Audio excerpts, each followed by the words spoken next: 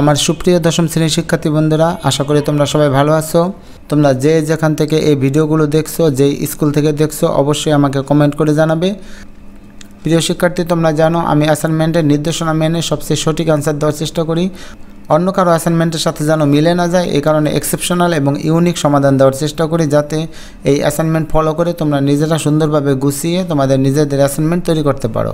সুপ্রিয় দশম শ্রেণির শিক্ষার্থী বন্ধুরা, এই ভিডিওতে তোমরা পাবে তোমাদের ষষ্ঠ সপ্তাহের তথ্য ও যোগাযোগ প্রযুক্তি অ্যাসাইনমেন্টের সমাধান।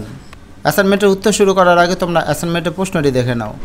অ্যাসাইনমেন্টটি হচ্ছে, অনলাইন ভিত্তিক বিভিন্ন সেবা আমাদের জীবনকে করেছে গতিময়। নিজে সহ পরিবারের সদস্যদের বিভিন্ন অনলাইন ভিত্তিক সেবা গ্রহণের আলোকে একটি রিপোর্ট প্রণয়ন করো।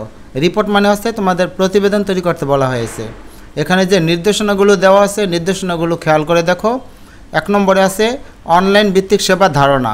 দুই নম্বরে ই গভর্নেন্স এর গুরুত্ব ব্যাখ্যা। তিন নম্বরে পরিবারের সদস্যের ই সেবা গ্রহণের সুযোগসমূহ উল্লেখ করে বর্ণনা।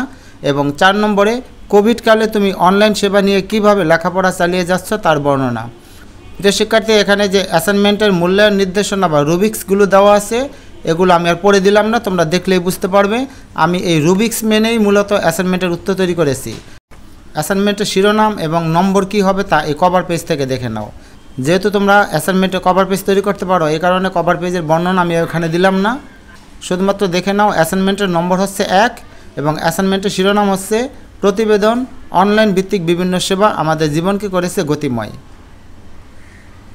অ্যাসাইনমেন্টের কভার পেজ আগের মতোই তোমরা তৈরি করবে। এবার অ্যাসাইনমেন্টের উত্তর দেখো। যেহেতু তোমাদের প্রতিবেদন লিখতে বলা হয়েছে, প্রতিবেদনের কিছু নিয়ম আছে। প্রথমে লিখবে তারিখ। আজকে চোদ্দোই জুলাই আমি এই অ্যাসাইনমেন্ট তৈরি করেছি বলে এখানে আমি তারিখ দিয়েছি চোদ্দোই জুলাই দুই হাজার একুশ। তোমরা দুই একদিন আগে বা পরে যে কোনো তারিখ দিতে পারো, তাতে কোনো সমস্যা নেই। এরপর বরাবর প্রধান শিক্ষক, এখানে আছে ড্যাশ উচ্চ বিদ্যালয়। এর মানে হচ্ছে তোমরা তোমাদের উচ্চ বিদ্যালয় মানে তোমাদের স্কুলের নাম এখানে লিখবে। এখানে আমি ঢাকা লিখে রেখেছি, তোমরা তোমাদের এলাকায় যে এলাকায় স্কুল সেই এলাকার নাম লিখবে। এরপর আছে বিষয়। বিষয় হচ্ছে যেটা অ্যাসাইনমেন্টে দেওয়া আছে সেই বিষয়টি এখানে উল্লেখ করতে হবে। অনলাইন ভিত্তিক বিভিন্ন সেবা আমাদের জীবনকে করেছে গতিময়। এরপরে আছে সূত্র। প্রিয় শিক্ষার্থী, অনেকে প্রশ্ন করে যে প্রতিবেদনে এই সূত্রটা আসলে কি?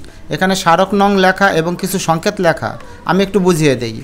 এখানে সূত্রের পরে লেখা আছে স্মারক নং আ উ বি। আ উ বি মানে হচ্ছে কোনো একটা বিদ্যালয়ের নামের সংক্ষিপ্ত অক্ষর। যেমন যদি কোনো বিদ্যালয়ের নাম থাকে আদর্শ উচ্চ বিদ্যালয়, তাহলে আদর্শ থেকে আ, উচ্চ থেকে উ এবং বিদ্যালয় থেকে বি।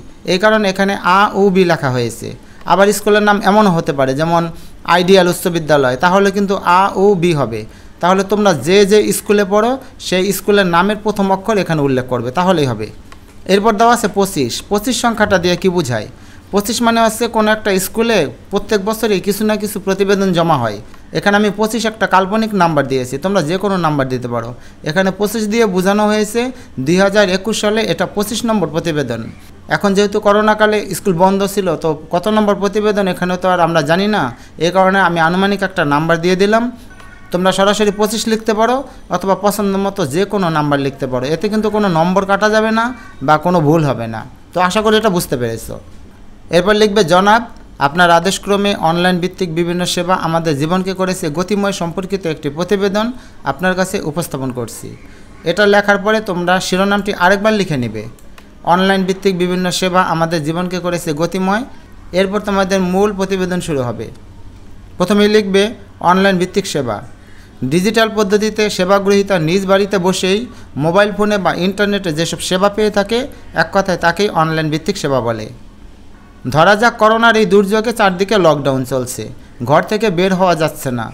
এই অবস্থায় নিত্য প্রয়োজনীয় কিছু জিনিস, যেমন চাল, ডাল, পোশাক, জরুরি ঔষধ কিংবা অন্য যে কোনো দ্রব্যের প্রয়োজন হয়ে পড়ল। এই অবস্থায় এসব জিনিস যদি আমরা ঘরে বসে পেতে চাই, তাহলে অবশ্যই কোনো একটা পদ্ধতিতে আমাদের পেতে হবে। আমরা মোবাইল ফোনের মাধ্যমে কিংবা ইন্টারনেট ব্যবহার করে বিভিন্ন সেবা প্রদানকারী প্রতিষ্ঠানে এইসব জরুরি জিনিসগুলো পাওয়ার জন্য অর্ডার করতে পারি। এইসব প্রতিষ্ঠানগুলোও দ্রুততম সময়ের মধ্যে আমাদের অর্ডার করা জিনিসগুলো আমাদের হাতে পৌঁছে দেয়। বিনিময়ে জিনিসগুলোর মূল্য এবং পরিবহন ফি প্রদান করতে হয়। এই পদ্ধতিকে আমরা অনলাইন ভিত্তিক সেবা বলতে পারি। এই পদ্ধতিতে আরও যেসব সেবা পেতে পারি তার মধ্যে রয়েছে, ঘরে বসে পরীক্ষার রেজাল্ট জানা যায় বাস কিংবা ট্রেনের টিকিট কাটা যায়, বিদ্যুৎ, গ্যাস কিংবা পানির বিল দেওয়া যায়, সরকারি, বেসরকারি বিভিন্ন সুবিধা পাওয়া যায়।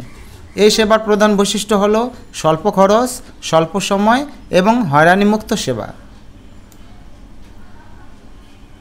প্রিয় শিক্ষার্থী, তোমাদের অ্যাসাইনমেন্টের রুবিক্সের পরের অংশটি হচ্ছে ই গভর্নেন্সের গুরুত্ব এবং ই গভর্নেন্সের চারটি গুরুত্ব উল্লেখ।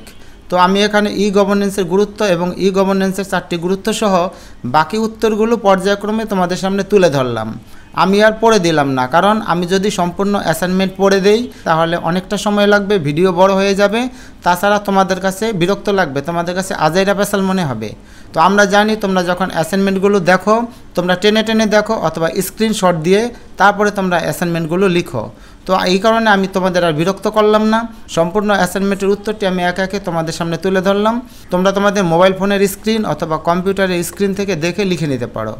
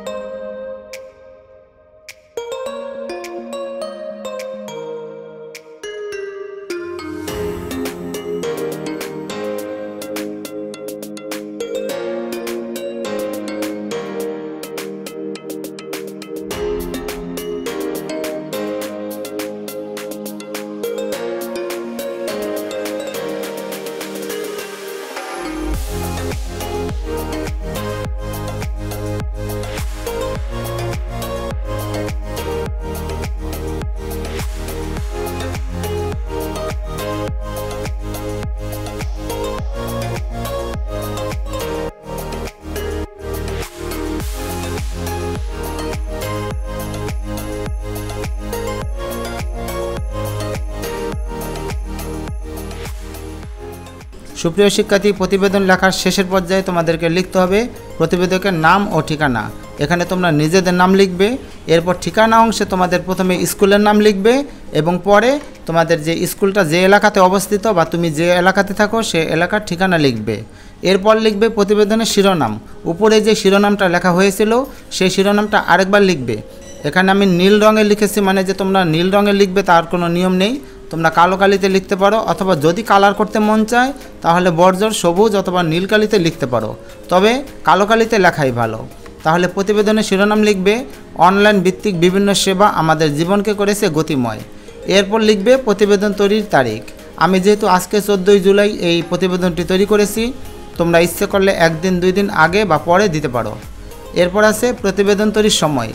এখানে যে কোনো একটা সময় উল্লেখ করতে হয়। আমি এখানে দশটা লিখেছি। তার মানে তোমরা দশটা, এগারোটা, বারোটা, এমনকি রাত দশটাও লিখতে পারো, এতে কোনো সমস্যা নেই। কারণ স্কুলে তুমি কখন জমা দেবে সেটা তোমার বিষয়, কিন্তু বাসায় তুমি যে কোনো সময় এই প্রতিবেদন লিখতে পারো। তো আশা করি তোমরা বিষয়টা বুঝতে পেরেছ। তো এই ছিল তোমাদের ষষ্ঠ সপ্তাহের তথ্য ও যোগাযোগ প্রযুক্তি অ্যাসাইনমেন্টের সমাধান। ভিডিওটি যদি ভালো লাগে এবং ভিডিওটি যদি তোমাদের উপকারে আসে, তাহলে অবশ্যই আমার সাথে থাকবে।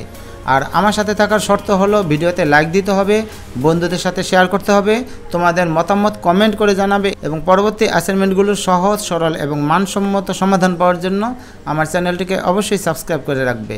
ধন্যবাদ।